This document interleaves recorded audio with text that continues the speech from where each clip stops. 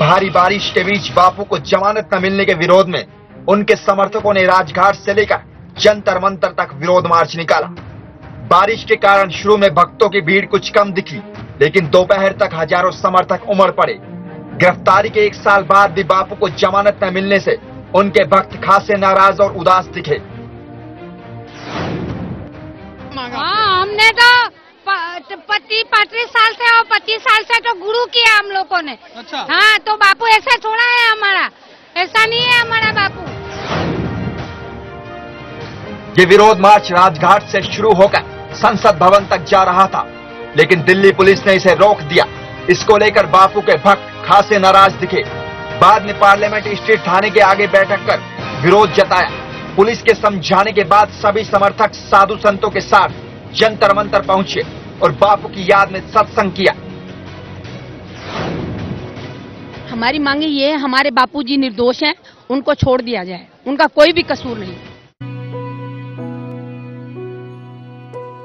आसाराम के समर्थन में अखिल भारतीय नारी रक्षा सेवा संघ ने रैली निकाली। आसाराम की समर्थक महिलाओं ने राजघाट से संसद मार्ग तक एक मार्च भी निकाला। रैली में शामिल महिलाओं का कहना है कि आसाराम निर्दोष है और उसे फंसाया गया है। दरअसल आसाराम इकतीस अगस्त 2013 से जोधपुर की जेल में बंद। है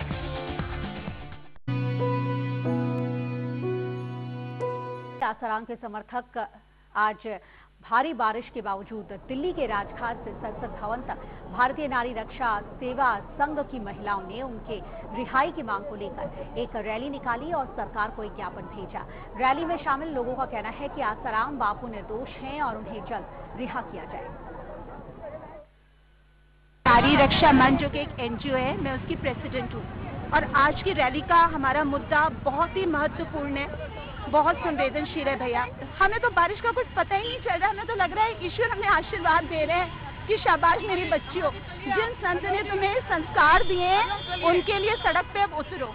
वो निर्दोष है और उन्हें यहाँ जो झूठे आरोप में फंसाया गया है हम उसके अगेंस्ट ये यहाँ पे रैली कर रहे हैं। आज ही का वो दिन है जिस दिन बापू जी को अरेस्ट किया गया था। तो आज ये दिन हम अन्याय दिवस के रूप में मना रहे हैं। मौन रैली निकाले हम लोग। बस सिर्फ़ बापू को छोड़ दो। दिल्ली में आज आसाराम समर्थकों ने राजघाट से लेकर पार्लियामेंट स्ट्रीट तक प्रदर्शन किया। पिछले साल आज ही के दिन आसाराम को गिरफ़्तार किया गया था। समर्थकों का कहना है कि आसाराम को फंसाया जा रहा है। साथ ही गलत तरीके से उन पर पॉस्को लगाया गया है।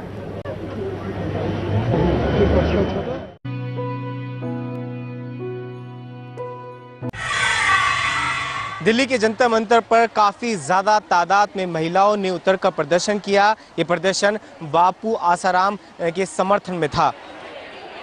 आशाराम बापू को गिरफ़्तार हुए एक साल पूरा हो चुका है। आशाराम पर एक नाबालिग लड़की ने शारीरिक उत्पीड़न का मामला दर्ज कराया था, जिसके बाद आशाराम को राजस्थान पुलिस ने गिरफ़्तार किया था। एक साल पूरा होने के बाद आशाराम बापू के समर्थकों ने जनता मंत्र पर प्रदर्शन किया, जिसमें काफ़ी तादाद में महिलाएँ नज़र आईं।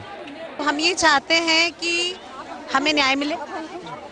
आपने ऐसा भी कहा कि आ, कानून की तरफ़ कानून तो जाँच पड़ताल कर रहा है। हमारी कानून से यही तो मांग है कि कानून की तरफ़ से सही जाँच पड़ताल होनी चाहिए। इतने फॉलोअर्स अगर इस मैदान में उतरे हैं तो क्यों उतरे हैं? क्योंकि उनकी आस्था दाव पे लगी।